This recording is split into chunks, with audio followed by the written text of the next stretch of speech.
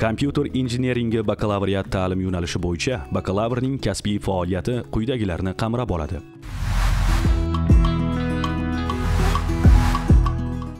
Ishlab chiqarish tashkiliy boshqaruv loyiha konstruktorlik axborot tahliliy faoliyat.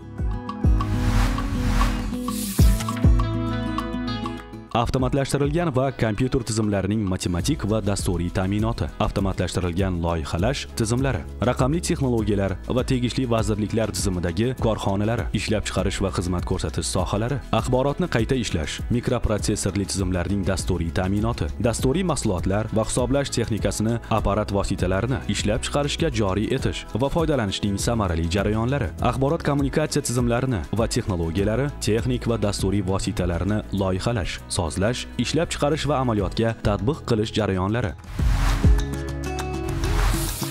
Kompyuter injineringi bakalavriat ta'lim yo'nalishi bo'yicha bitiruvchilar pedagogik qayta tayyorlashdan o'tgan taqdirda maktabgacha va maktab ta'lim tashkilotlarida professional ta'lim muassasalarida ta'limning vakolatli boshqaruvi organlari tomonidan aniqlanadigan umumiy kasbiy va ixtisoslik fanlarini o'qitish bo'yicha pedagogik faoliyat bilan shug'ullanish huquqiga ega bo'ladi.